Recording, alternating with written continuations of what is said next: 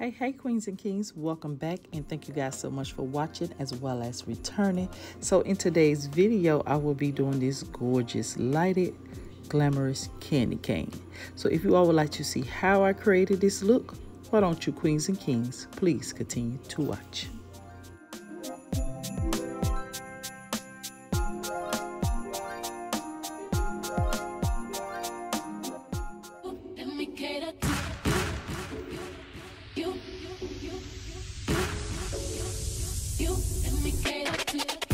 Right queens and kings so for the first one of the items that you would need material wise you would need this dollar tree wire wreath here. Um, they have them in small and large and this is the smallest candy cane wreath as well as these led light sets here which i actually have them in red and they come in various colors. I have some silver metallic spray paint from walmart as well as these gems here that I purchased from Amazon, which you could find in my Amazon storefront, which I will leave down below. Okay, Queens and Kings, so I have already went ahead and started gluing some of my gems on here, and the reason for that is because this video would have been very long if I'd actually did gem by gem, and it's very repetitive.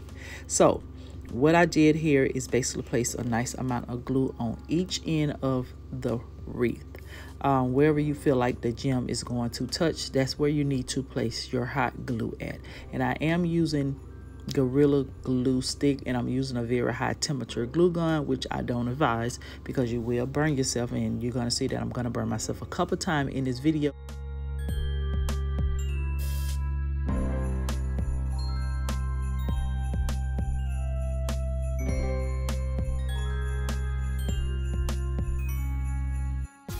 I'm going to continue placing some hot glue on one end of the wreath on the opposite end.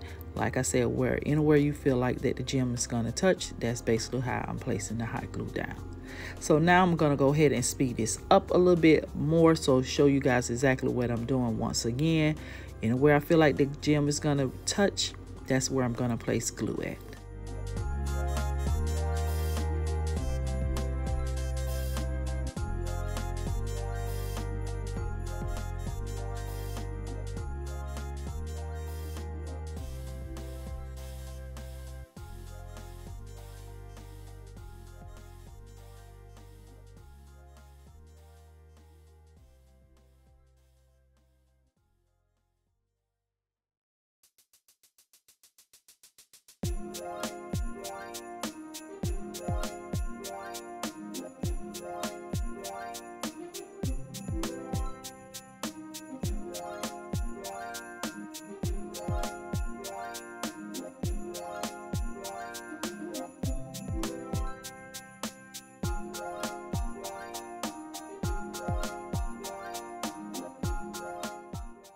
Okay, queens and kings. So now I'm getting to a wider part of the reef and basically that's what I'm showing you guys here, where the gem is not touching on me. Now, you to solve this, problem you could actually buy bigger gems and place the hot glue the bigger gems there.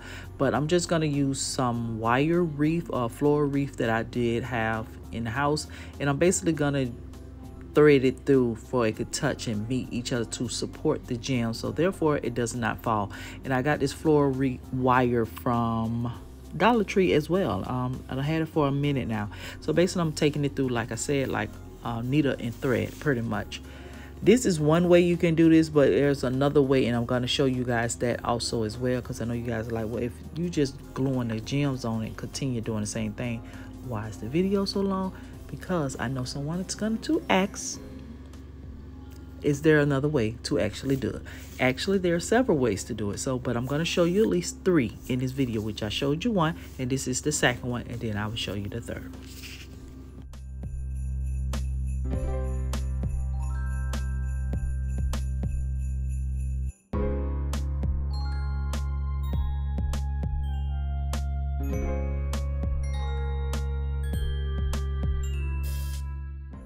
Okay, so now that I have thread my wire, now this method here you may need something to protect your fingers. I do not advise you to use a very high temperature glue gun.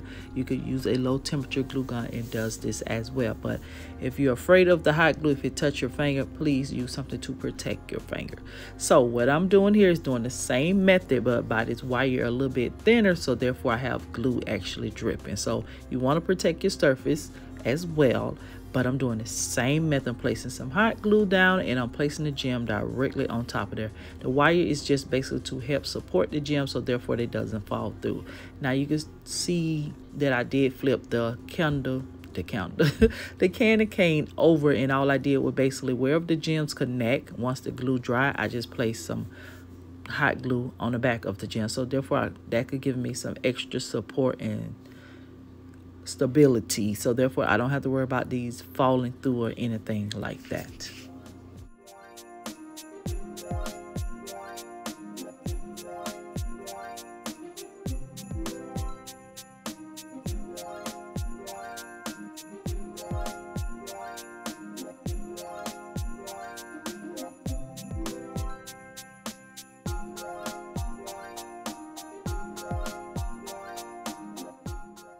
All right, so for the third and final method that I decided to use is basically some bling wrap. And I'm going to use the bling wrap to glue on there to help support the gems from falling through as well. Because like I said, certain parts of this wreath here is actually wider. Um, the middle portion and the edges are so you see wherever I was able to glue the gems down to those areas that were smaller and thinner but this area here is a little bit wider and I was like okay what I'm gonna do because I don't want to put bigger gems but hey I decided to try some bling wrap other than the wire method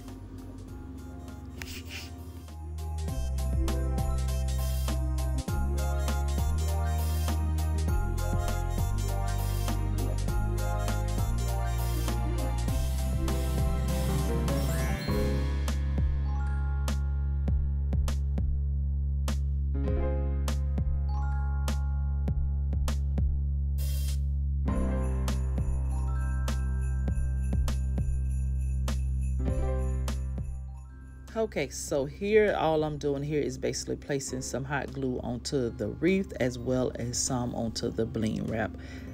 And this is basically how I'm going to connect them together. Now, there's going to be a gap in between them.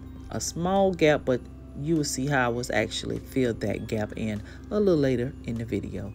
So place some hot glue down, put some onto the bling wrap as well as the wire wreath and you're going to connect them that way. Or you can also put a little tab a dab of glue onto one of the gems place some onto the wire as well as the bling wrap and you can connect them that way. So whatever floats your boat whatever fits for you whatever method worked for you i would say go for it. But the way that this turned out it is so beautiful. It is so beautiful. So either way will work just fine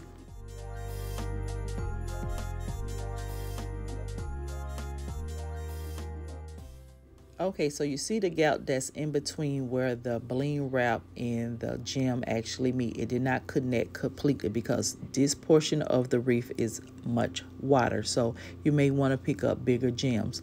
Um, I will link these gems down below, like I said, in my storefront because I'm not sure exactly what size they are at this moment, but that will work. So I use the gems to cover it in and that's just as fine and easy as that.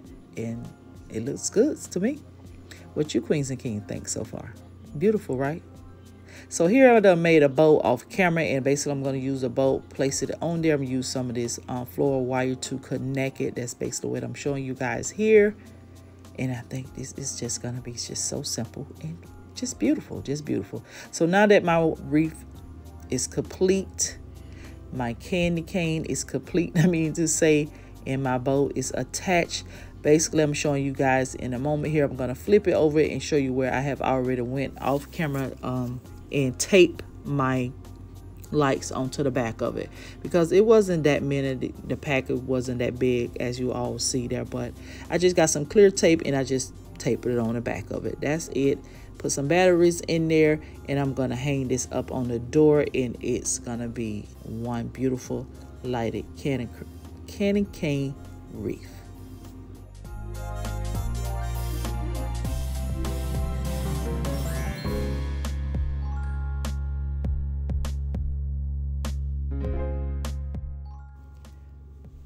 All right, queens and kings. So here she is all light up and I love the red. I didn't think I would actually love the red, but what inspired me is because you guys know I'm doing Vlogmas and I did my balcony with some red candy canes and they light up red and stuff. So that's the reason why I wanted to do this. But I love the way that it looks with the lights on as well as with the lights off the light so the color is option to you. And i apologize for the light being so bright. Those light bulbs are from the dollar tree matter of fact.